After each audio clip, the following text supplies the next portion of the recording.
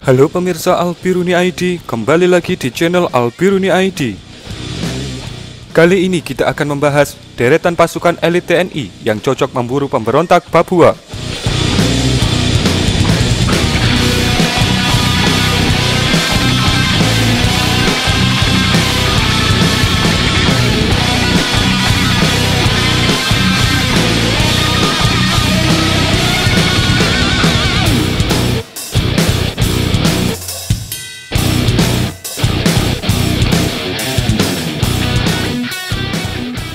TNI memiliki kemampuan dalam berbagai operasi yang diakui di dunia internasional. Kemampuan TNI ini diraih dari hasil latihan yang keras dan ditunjang dengan berbagai persenjataan yang super canggih. Pasukan elit TNI sering dilibatkan dalam berbagai operasi, mulai dari operasi penangkapan teroris sampai operasi penyelamatan sandera.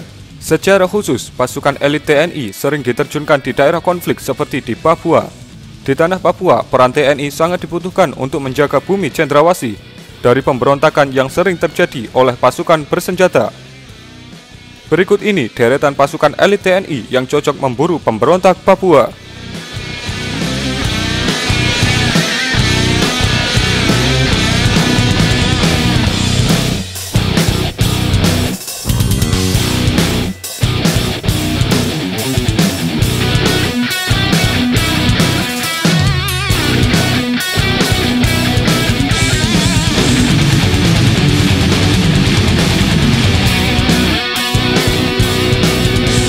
Satu, Kopassus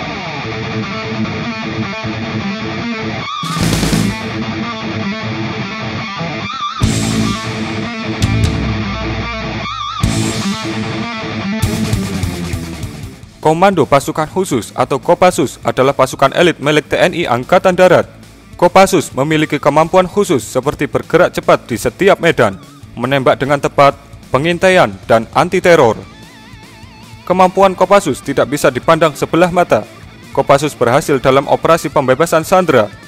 Salah satunya di Banti, Papua akhir tahun 2017 yang lalu. Jumlah warga yang berhasil dievakuasi dari kampung Kimbeli sebanyak 104 laki-laki, 32 perempuan, dan 14 anak-anak, serta dari kampung Longsoran sebanyak 153 laki-laki, satu di antaranya orang asli Papua, 31 perempuan, dan 10 anak-anak.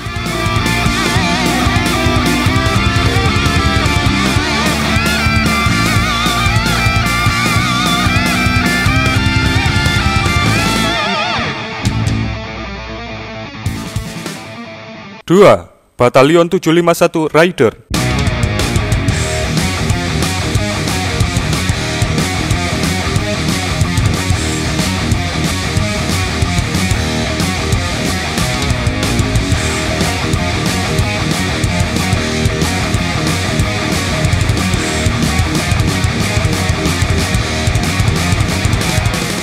Batalion 751 Rider memiliki tugas operasi yang bersifat khusus yaitu teknik drill kontak, infiltrasi atau penyusupan, eksfiltrasi, mobut, rala suntai, raid basuhan, dan raid penghancuran.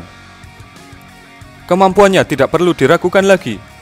Pada 7 Juni 2014, anggota TNI dari Batalion Infanteri Yonif 751 Virajaya Sakti, Kodam 17 Cendrawasi yang bertugas di Distrik Tinggi Nambut, Kabupaten Puncak Jaya berhasil menembak mati Komandan Organisasi Papua Merdeka atau OPM.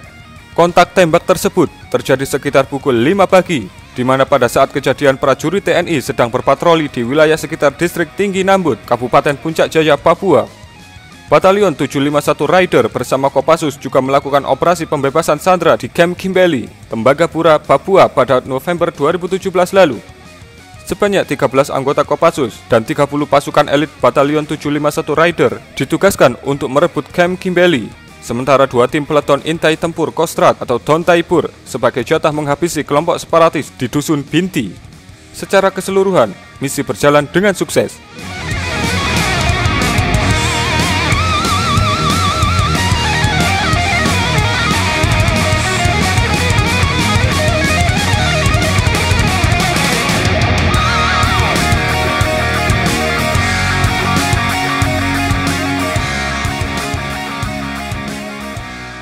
3. Tontaipur Kostrat